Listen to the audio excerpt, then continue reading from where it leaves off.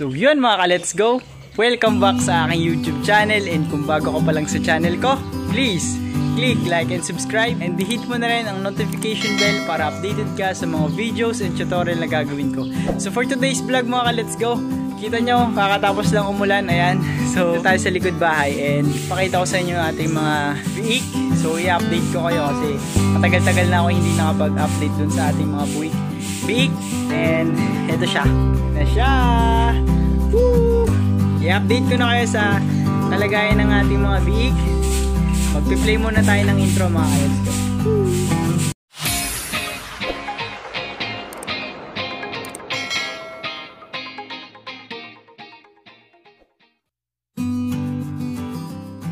So mga ka-let's go! Ayan, magpa i-update ko kayo ngayon sa ating mga biik kasi last time nagpanak tayo. So, so ngayon, nakaka 2 weeks na tayo ng ating mga biik. So i-update ko kayo kung gano'n siya kalaki. Ayan na siya oh. Ayan na siya. Ang laki na niya. Ay, hindi pala yan. Hindi pala yung biik. Ayan oh. Ayan na siya. Ayan na yung isa. Tsaka yun yung isa. So, ang lalaki na niya mga ka-let's go. oh, no! Ayan, yan si ano. Si Batik. Ayan si Batik. Hey, Batik. Ayan. Yan ang kanilang nanay. So, yung nandito. Ay, ayan, wala na. Wala nang laman yung nandito. Nabenta na siya. Yung lima. Last week. Nabenta na namin mga let's go. So ito, ito na lang silang dalawa ngayon. Yan, si Onay. Si Onay at si Pati. Wow. Ito, ito yung mga ito yung bake ko. so papakita ko sa inyo mga let's go na kung ano, may inilaki na ba siya, i-comment down below nyo kung ano yung masasabi niyo sa ating mga biik. So ano na lang siya. Ilan lang po yun? Walo ano? Walo na lang siya mga ka-let's go. Walo na lang. And hindi naka-recover yung isa. Kasi parang ano siya yung mahina. Pero normal lang naman yun kapag nag, uh, ano, nagpapalaki ng ganung mga buwik. Biik. Eh ano naman siya. May meron talagang hindi nakakaligtas, hindi nakaka-recover sa paglaki. Kaya ganun. Pero okay lang yan mga let's go. Meron pa tayong walo. Kaya yun yung pinapalaki natin and malulusog sila. Ipapakita ko sa inyo mga let's go kung gano'n nakalaki ang ating mga big. Tara. Ito na. Lumabas na yung isa oh. Yan ang isa oh. Yan. Oops. Uy. Uy. Baka makagat ka ng nanay mo dyan. Uy. Joke lang. Mabait yung nanay niya. eh, hindi. Kakaulan lang po eh. Hindi nalinis. Kaya, yan. So, hey! Toy! Oy, gising! Mga tulog. So, papaanoin natin yung nanay niya. Para mana. Uy, padede ka na dali. Padede ka na. Ayun, lumabas na isa. Yun. Yan na. Ayun na. Ayun na sila. Lumabas na. Oh. Ayun oh. Yan, mga batik. Uy, mag ano, magpadede ka na, dali. Ayan, mga let's go. Ayan. Ayan yung isa. Oh. Yiki, yiki, yiki. Ayan. So, pa 2 weeks na po siya. Bibigyan natin ngayon siya ng vitamins, yung nilalagay sa bebek. Tapos, mga let's go, kumakain na siya. Ayan. So, yun yun kapag uh, pa ilang araw na, sinasanay na siyang kumain. Yan mga pellets na maliliit.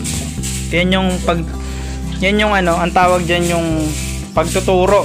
Pagtuturo sa pagkain ng baboy. Para mas mabilis siya lumaki. Ayan na siya oh. Hoy, batik! Batik-tik!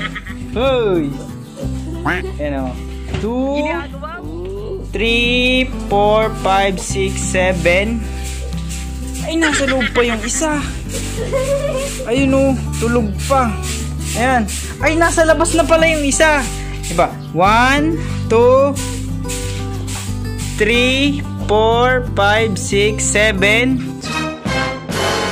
So, 7 yan. 8. Yan ang 8 pa 8. Malaki na siya. O, yan o. Nakaka, nakakataas na siya sa ano. Sa Bartolina. Ayan o. Yun. Yan yung unang, yan yung panganay. Yan yung panganay na, ano, na big.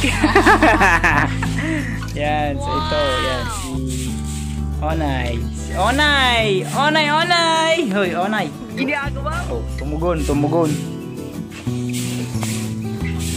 Yan na po ang ating biik. Ayan. Ayan o, nag, naglalaro laro sila. Medyo madumi. Kasi maulan, hindi maliguan. Lalamigin yung mga beaks natin. Ayan yung nanay nila. Ano, naglalaro. Hey, hey, hey, hey, hey, hey.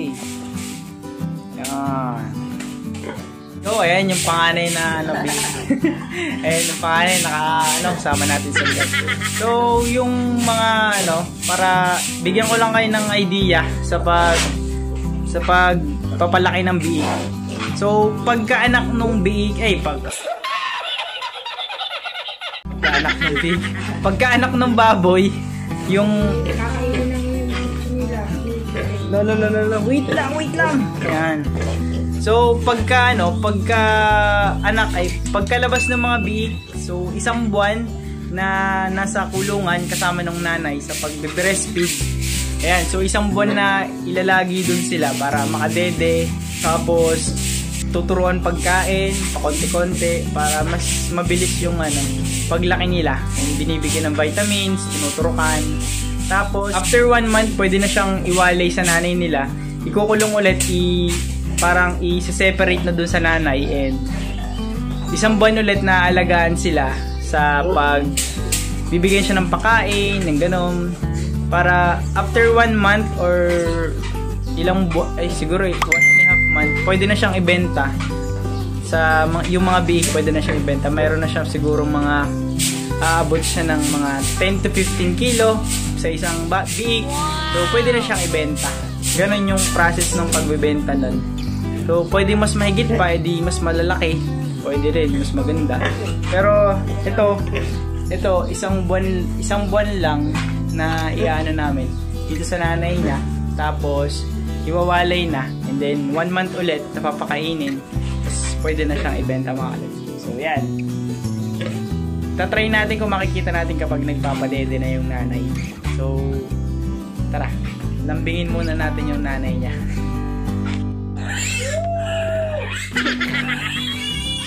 Ginagawa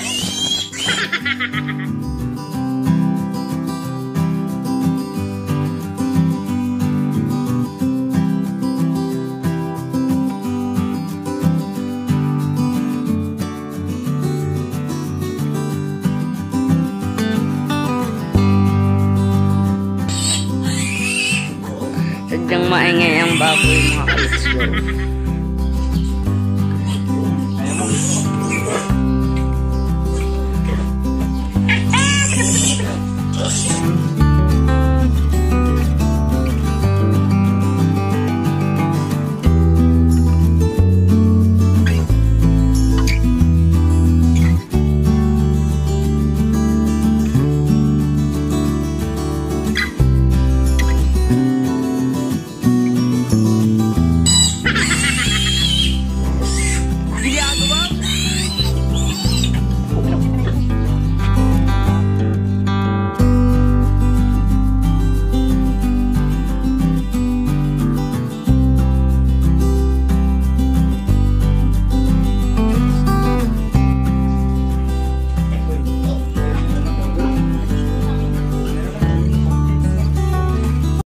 few moments later.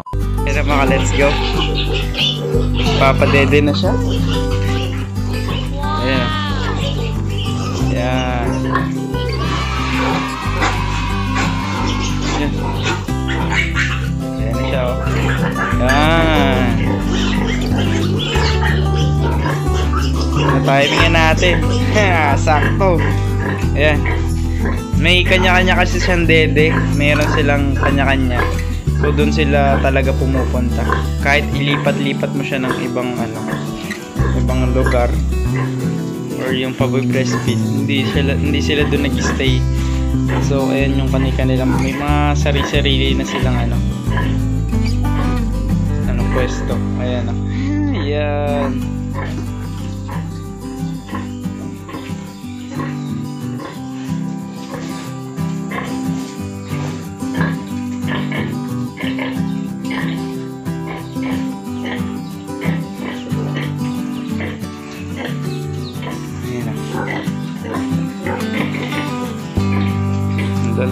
Lalaki